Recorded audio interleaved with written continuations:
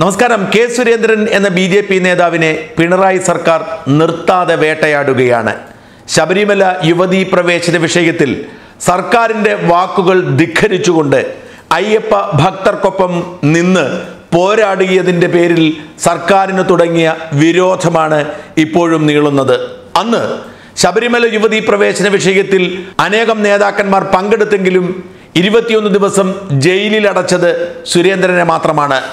ജയിലിൽ നിന്നും സുരേന്ദ്രൻ ജാമ്യം കിട്ടി പുറത്തിറങ്ങാൻ നേരം അനേകം പഴയ രാഷ്ട്രീയ വൈരാഗ്യം തീർക്കുന്നതിനുള്ള സമരങ്ങളിൽ പങ്കെടുത്ത കേസുകൾ പൊടി തട്ടിയെടുത്ത് സുരേന്ദ്രനെ കേരളം മുഴുവൻ കൊണ്ടു നടന്ന് പ്രഹസനമാക്കിയ കാഴ്ചയും നമ്മൾ കണ്ടു. ഇപ്പോൾ തെരഞ്ഞെടുപ്പിൽ മത്സരിക്കാൻ സുരേന്ദ്രൻ പത്തനംതിട്ടയിലെത്തിയപ്പോൾ ഇരുന്നൂറ്റി നാൽപ്പത്തി മൂന്ന് കേസുകളിൽ പ്രതി ചേർത്തിരിക്കുന്നു എന്ന വിവരം പുറത്തു വരുന്നു ഈ വിവരം സുരേന്ദ്രൻ പോലും അറിഞ്ഞിരുന്നില്ല. സുരേന്ദ്രൻ തന്റെ സത്യവാങ്മൂലത്തിൽ ഇരുപത് കേസുകളിലെ പ്രതി എന്നാണ് ചേർത്തിരുന്നത്. ഇരുന്നൂറ്റി നാൽപ്പത്തി മൂന്ന് കേസുകളിലെ പ്രതി ആണ് എന്ന വിവരം പുറത്തു വന്നത് സർക്കാർ ഹൈക്കോടതിയിൽ നൽകിയ ഒരു സത്യവാങ്മൂലത്തിൽ നിന്നാണ്. അതുകൊണ്ട് അയോഗ്യത ഭയന്ന് സുരേന്ദ്രൻ വീണ്ടും നോമിനേഷൻ നൽകുകയാണ്. നാളെ ഇരുന്നൂറ്റി നാൽപ്പത്തി മൂന്ന് കേസുകളുടെയും വിവരങ്ങൾ ഉൾപ്പെടുത്തിക്കൊണ്ട് സുരേന്ദ്രൻ പുതിയ നോമിനേഷൻ നൽകും പുതിയ സത്യവാങ്മൂലമടക്കം ഒരുപക്ഷെ പുതിയ നോമിനേഷൻ നൽകുന്നതോടുകൂടി താൽക്കാലികമായി പ്രതിസന്ധി മാറിക്കിട്ടിയെന്ന് വരാം. എന്നാൽ ഇതിലേറെ കേസുകൾ സുരേന്ദ്രന്റെ പേരിൽ ഉണ്ടെങ്കിലും അതൊക്കെ മറച്ചു വെച്ചിരിക്കുകയാണെങ്കിലും സുരേന്ദ്രൻ വലിയ തോതിലുള്ള ഭീഷണി തന്നെയാണ് നേരിടേണ്ടി വരിക.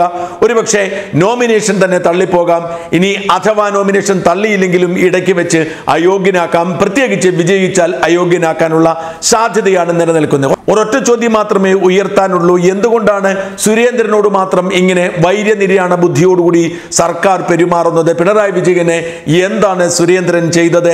ശ്രീധരൻ പിള്ളയടക്കമുള്ള ബി ജെ പി നേതാക്കന്മാർ സർക്കാരിന്റെ വിരട്ടിൽ വിരണ്ടു പോകുന്നവരാണെങ്കിൽ അതിന് വഴങ്ങാത്തത് കൊണ്ടാണോ സുരേന്ദ്രനെ ഇങ്ങനെ വേട്ടയാടുന്നത്? അല്ലെങ്കിൽ എന്തുകൊണ്ടാണ് സുരേന്ദ്രൻ ജയിലിൽ കിടന്നപ്പോൾ പോലും സുരേന്ദ്രന്റെ പേരിൽ കേസെടുത്തിരിക്കുന്നത്?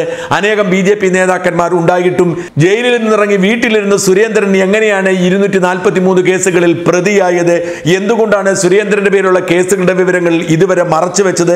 എന്തുകൊണ്ടാണ് സുരേന്ദ്രനെ അറസ്റ്റ് ചെയ്യുകയും ഇരുപത്തൊന്ന് ദിവസം ജയിലിൽ അടയ്ക്കുകയും ചെയ്ത് എന്തുകൊണ്ടാണ് സുരേന്ദ്രനെ ഇപ്പോഴും അറസ്റ്റ് ചെയ്യാൻ നീക്കം നടത്തുന്നത്? എന്തുകൊണ്ടാണ് സുരേന്ദ്രനെ കേരളം മുഴുവൻ നടത്തി ജാമ്യമെടുപ്പിച്ചു സുരേന്ദ്രന്റെ പ്രചരണ സമയം നഷ്ടപ്പെടുത്താൻ ശ്രമിക്കുന്നത് എന്തുകൊണ്ടാണ് സുരേന്ദ്രനെ അയോഗ്യനാക്കാൻ സർക്കാർ ഗൂഢാലോചന നടത്തുന്നത്? എന്തുകൊണ്ടാണ് മറ്റൊരു ബി ജെ പി നേതാക്കന്മാരെയും സർക്കാർ ഇങ്ങനെ ആക്രമിക്കാത്തത്? ഇത്തരം ചോദ്യങ്ങൾക്ക് ഉത്തരം നൽകേണ്ടതുണ്ട്. ഇത് ജനാധിപത്യ രാജ്യമാണ്. എല്ലാത്തര ആശയങ്ങൾക്കും ഇവിടെ പ്രസക്തിയുണ്ട്. തീവ്ര വലതുപക്ഷ രാഷ്ട്രീയം മുതൽ തീവ്ര ഇടതുപക്ഷ രാഷ്ട്രീയം വരെ ജനാധിപത്യത്തിന്റെ ഭാഗമാണ്. രാജ്യം നിരോധിക്കാത്ത എല്ലാ ആശയങ്ങളും എല്ലാ സംഘടനകളും ഇവിടെ പ്രവർത്തിക്കേണ്ടതുണ്ട്. അതുകൊണ്ട് തന്നെ ബി ജെ പിയുടെ ആശയത്തോട് വിയോജിക്കുന്നു എന്നതുകൊണ്ട് മാത്രം ആർ എസ് എസിന്റെ പ്രവർത്തന രീതിയോട് വിയോജിക്കുന്നു എന്നതുകൊണ്ട് മാത്രം സുരേന്ദ്രന്റെ രീതികളോട് വിയോജിക്കുന്നു എന്നതുകൊണ്ട് മാത്രം സുരേന്ദ്രനെ പോലൊരു നേതാവിനെ ജയിലിലിട്ട് പീഡിപ്പിക്കാൻ ശ്രമിക്കുന്നത് ജനാധിപത്യ വിരുദ്ധമാണ്. അനീതിയാണ് തെരഞ്ഞെടുക്കപ്പെട്ട ഒരു സർക്കാരിന് ഒരിക്കലും ഭൂഷണമല്ല. സുരേന്ദ്രനെ പോലൊരു യുവ നേതാവിനെ ഇങ്ങനെ അയോഗ്യനാക്കുകയോ പിറകെ നടന്ന് ശല്യം ചെയ്യുകയോ മത്സരിക്കുന്നതിന് തടസ്സം സൃഷ്ടിക്കുകയോ പ്രചരണത്തിന്റെ വേദികൾ നിഷേധിക്കുകയോ ഒക്കെ ചെയ്താൽ ജനാധിപത്യം ഇല്ലാതാവുമെന്നോ ആ ആശയം ഇല്ലാതാവുമെന്നോ സുരേന്ദ്രൻ ഇല്ലാതാവുമെന്നോ ആരെങ്കിലും കരുതിയാൽ തെറ്റി പിണറായി വിജയന് തെറ്റുപറ്റിയിരിക്കുന്നു. വിരോധം തീർക്കേണ്ടത് ജനാധിപത്യ പ്രക്രിയയുടെ കടയ്ക്കൽ കത്തിവെച്ചുകൊണ്ടാവരുത്.